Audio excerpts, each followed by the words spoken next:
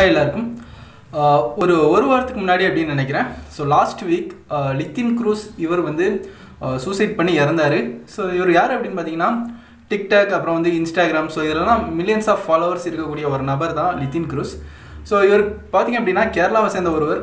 ஆனால் பார்த்தீங்க அப்படின்னா இவருக்கு ஃபேன்ஸ் பார்த்தீங்க அப்படின்னா தமிழ்நாடாக இருக்கட்டும் அப்புறம் வந்து நார்த் சைடு எல்லாருக்குமே வந்து இவரை ஃபாலோ பண்ணுறவங்க வந்து நிறைய பேர் இருந்தாங்க. ஸோ பட் பார்த்தீங்க அப்படின்னா எதிர்பாராத விதமாக லாஸ்ட் வீக் வந்து இவர் சூசைட் பண்ணி இறந்தும் போயிட்டார்.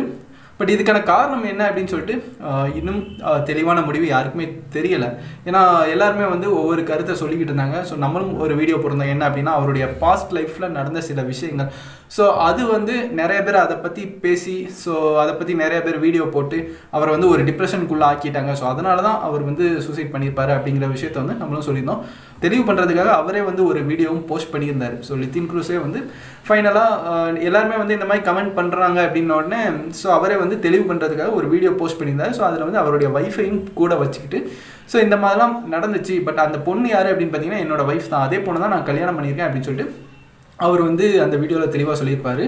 ஸோ ஒருத்தர் வந்து அந்த பொண்ணையை கல்யாணம் பண்ணதுக்கப்புறம் அந்த விஷயம் வந்து முடிஞ்சு ஸோ இது வந்து முடிஞ்சு போன விஷயம். ஸோ இதை பற்றி மறுபடியும் பேசணும் அப்படிங்கிறது வந்து தேவையில்லாத விஷயம் தான். பட் இருந்தாலும் அவங்களுடைய ஃபாலோவர்ஸ் எல்லாருமே வந்து ஸோ இதுக்கான ரீசன் என்ன? ஸோ ஒருத்தர் வந்து இறந்துருக்கிறாரு அப்படின்னா நிறைய பேர் வந்து ஃபாலோ பண்ணுறாங்க ஸோ அப்படின்னா அதுக்கான ரீசன் என்ன அப்படின்னு சொல்லிட்டு நிறைய பேர் வந்து சர்ச் பண்ணிட்டு தான் இருந்தாங்க. ஸோ லித்தினை பற்றி ஏதாவது ஒரு நியூஸ் கிடைக்குமா அப்படின்னு சொல்லிட்டு டெய்லியும் பார்த்தீங்க அப்படின்னா அவருடைய இன்ஸ்டாகிராம் பேஜஸ் அப்புறம் அவருடைய ஃப்ரெண்ட்ஸாக இருக்கக்கூடிய அகில் ஸ்டீவ்.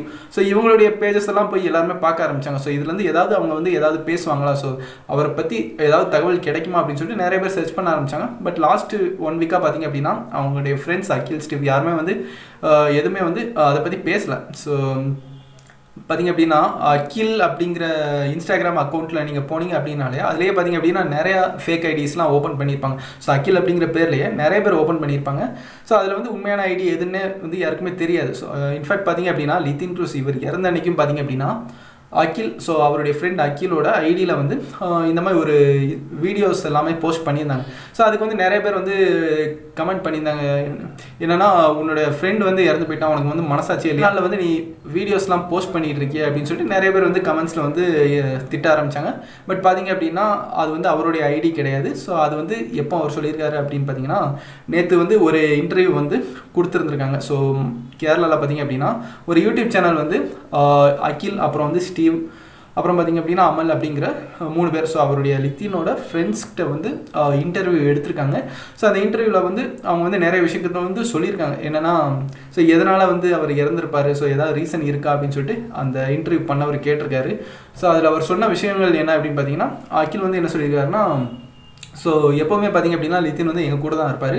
பட் அவர் இறந்த அன்னைக்கு பார்த்தீங்க அப்படின்னா அன்னையிலேருந்து ஒரு ஒரு வாரமாக பார்த்தீங்க அப்படின்னா அவர் வந்து அவங்க கூட டைம் ஸ்பெண்ட் பண்ணல. ஸோ எல்லாமே பார்த்தீங்க அப்படின்னா அவருடைய வீட்டில் தான் வந்து டைம் ஸ்பெண்ட் பண்ண ஆரம்பித்தார் ஸோ அதே மாதிரி பழையபடி வந்து பேசலை எங்கள் கூட. ஸோ ஃபோன் பண்ணாலுமே வந்து ரொம்ப ஒரு சோகமாக தான் பேசிக்கிட்டு இருந்தார்.